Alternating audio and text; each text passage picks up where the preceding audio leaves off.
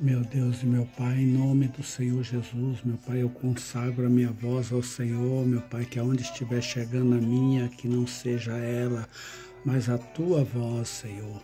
Meu Deus e meu Pai, em nome do Senhor Jesus, meu Pai, eu te peço que a pessoa que estiver ouvindo essa oração agora, Senhor, que ela tenha uma noite de sono tranquila, meu Pai, um sono revigorador e que amanhã ela possa acordar para um novo dia cheia de esperança, meu Pai, cheia de alegria.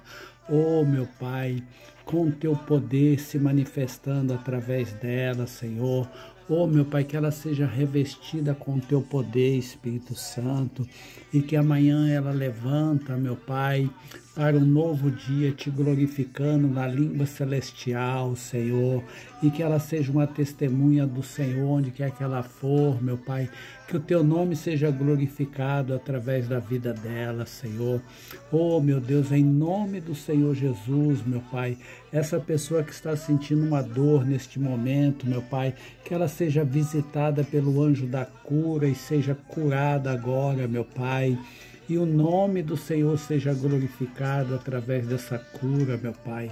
É o que eu te peço, Senhor, em nome do Senhor Jesus, meu Pai, em nome do Senhor Jesus, que amanhã todos nós possamos acordar para um novo dia, cheio de esperança, cheio de alegria, meu Pai.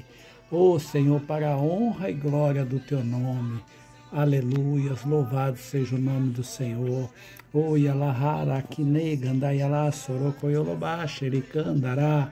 Ô Senhor, muito obrigado por tudo, meu Pai. Muito obrigado. Toda honra, toda glória seja para ti, Senhor.